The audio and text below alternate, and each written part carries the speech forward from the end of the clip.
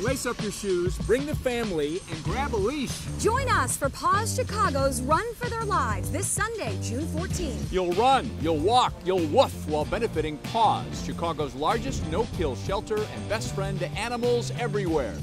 Click or call to learn more.